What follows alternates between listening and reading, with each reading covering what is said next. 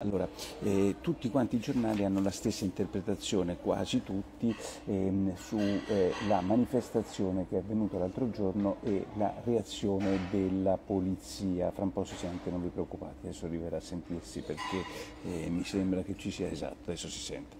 Ehm,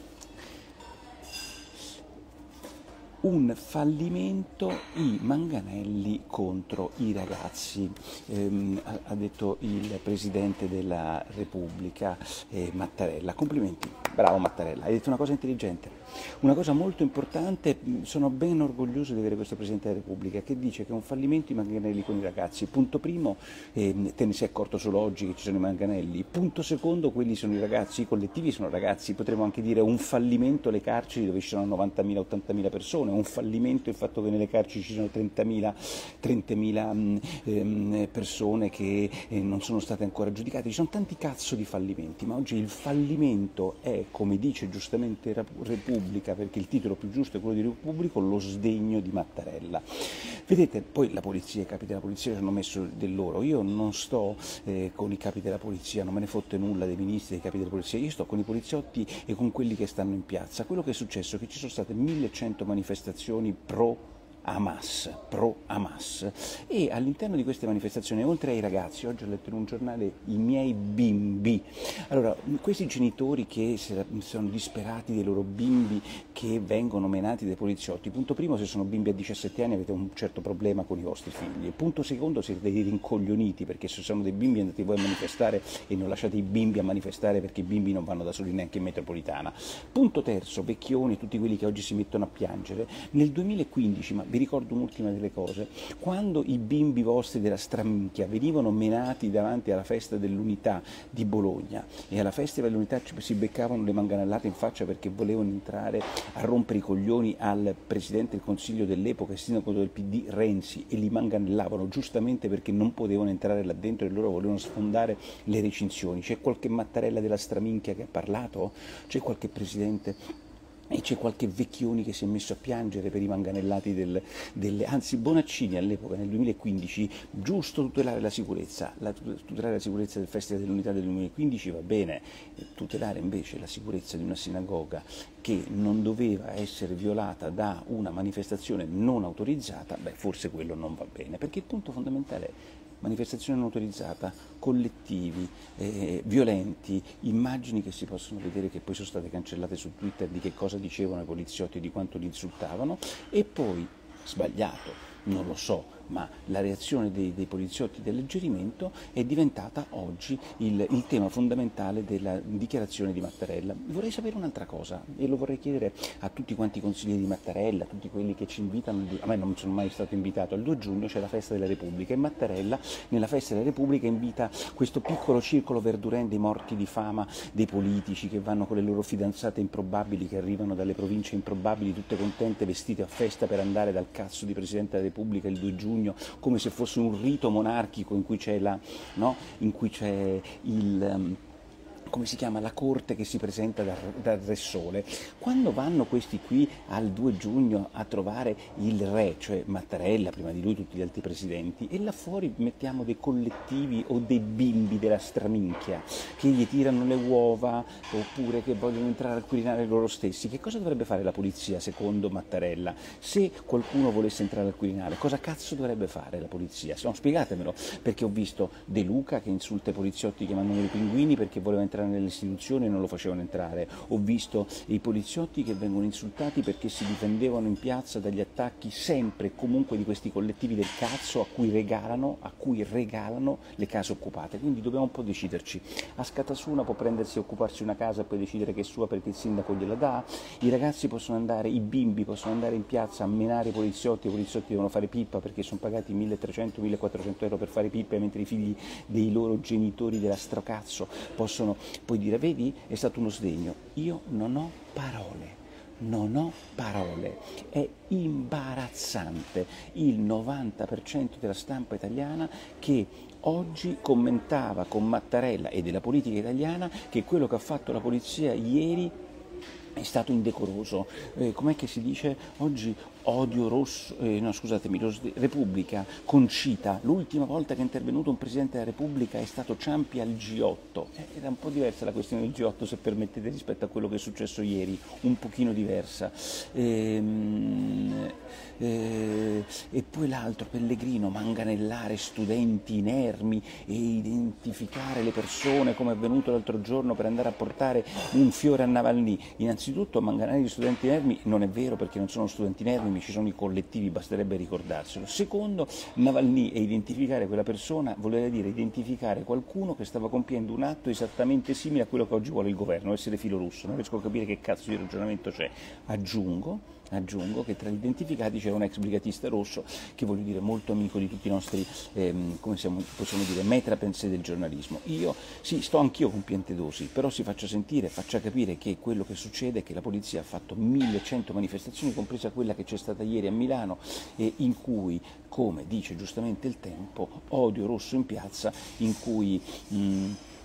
in cui al corteo della pace di Milano c'erano le sagome di ministri con il eh, volto insin- insanguinato, con i poliziotti senza se e senza ma. Avete rotto i coglioni. Se voi andate a eh, manifestare con i cortei dei collettivi,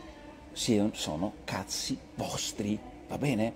Stupendo oggi Aldo Grasso perché Aldo Grasso si accorge di una cosa di cui pochi si erano accorti, ma voi zuppisti ve la ricordate, cioè che all'Eurovision stanno boicottando la eh, cantante israeliana. E perché dicono la cantante israeliana sta facendo delle canzoni che evocano il 7 ottobre, quindi non può venire. E oggi stupendo eh, Grasso, per paradosso, sul Corriere della Sera, prima pagina, ve lo consiglio, dice esattamente il contrario. Dice Gali, tu che hai fatto il fenomeno contro il genocidio dovresti essere il primo invece a volere la cantante israeliana che possa pretendere, possa dire e possa urlare fare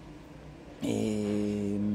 e il, il, il, suo, il, suo, orrore. E, sono comunisti, cos'è che aspetta? C'era un, allora, Ranucci da Gramellini ieri sera ha detto che il fatto che la manifestazione non fosse autorizzata è risibile. No, ma certo, questo è un paese che tutte le cose non autorizzate, che loro che cazzo gliene frega. Devo dire la verità che poi invece è il paese in cui Vannacci per tre scontrini di quattro anni fa viene finisce indagato dalla procura militare per possibile truffa, una cosa pazzesca. Qui la palla la tocca meglio di tutti ehm, eh, Sallusti che ha il dente un po' avvelenato con il ministro Crosetto che vi ricorderete ha querelato il giornale, devo dire una follia da parte di Crosetto e dice Crosetto si è comportato come quelle procure politicamente eh, polit- politicizzate, eh, il Ministero della Difesa Crosetto si è comportato come quelle procure politicizzate che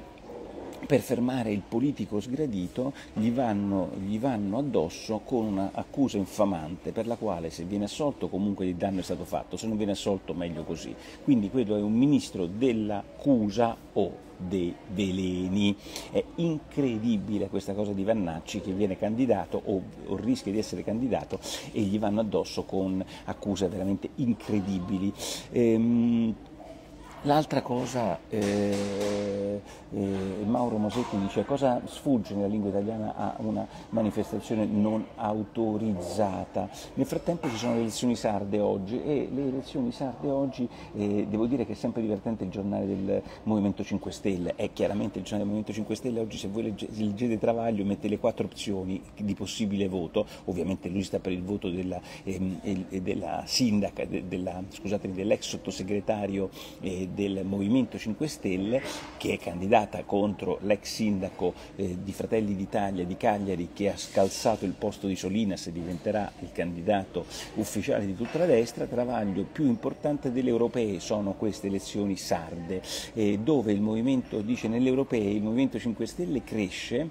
e, e Conte è sopra alla Schlein come eh, sondaggi, però il partito non riesce a superare il, Movimento, il Partito Democratico, il partito di Conte non supera il Partito Democratico perché al sud c'è l'astensionismo. Questa è la lucidissima analisi diciamo, eh, di ehm, eh, Travaglio che è poco filo Conte e poco filo Movimento 5 Stelle, è più filo 5 Stelle di quanto gli altri giornali, quelli di destra e di sinistra, solo filo i loro partiti perché gli altri alcune volte qualche critica la fanno, quello è filo 5 Stelle in una maniera imbarazzante G7, però dice che queste elezioni sono importantissime perché potrebbero far vincere la candidata del, PD, del Movimento 5 Stelle e cambiare completamente le sorti di questo governo. Non diffi, di, diverso il ragionamento, ma molto più equilibrato, molto scritto meglio, molto più ragionato di Stefano Cappellini oggi su Repubblica che dice nelle elezioni ehm, eh, regionali hanno comportato rischi per i governi, basti ricordare quello D'Alema e quello Berlusconi e anche cambi di segreteria per segreterie che hanno perso le elezioni. Quindi non sottovalutiamo le elezioni di oggi.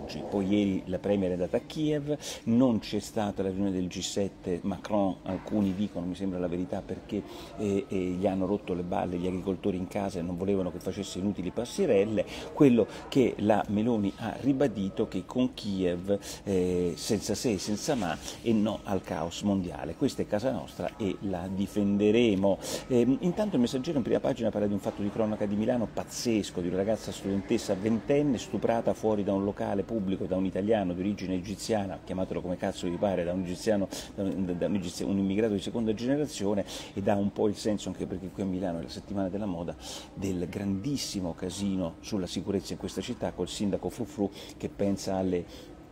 ai diritti degli LGBTQ cosa sacrosanta, magari si occupasse anche dei diritti delle ragazze che vanno in discoteca e che vivono in un'insicurezza totale. Molto interessante, è una mia fissazione, concludo con questo perché mo mi parte il volo, la questione dei passaporti. È l'unico paese al mondo che per avere un passaporto, a parte forse Cina, Russia, paesi insomma, di cui non vorrei vivere, ci vogliono otto mesi. Allora dovete pensare che la libertà di eh, movimento e la possibilità di andare in un altro paese, ovviamente non in Europa ma fuori dall'Europa, grazie a un passaporto, è una libertà non solo tutelata dalla Costituzione, religione, ma è una libertà garantita dai diritti civili dell'Occidente da almeno 400 anni. L'idea che in Italia per uscire tu debba avere un passaporto e ci debba mettere ehm, 80 giorni è una cosa che grida vergogna. Questo è un paese illiberale, un paese che diventa illiberale per la burocrazia e non un paese che diventa illiberale per delle manganellate nei confronti di persone che stavano manifestando non autorizzate e il cui unico scopo era andare a rompere il cazzo a una sinagoga dove non dovevano entrare,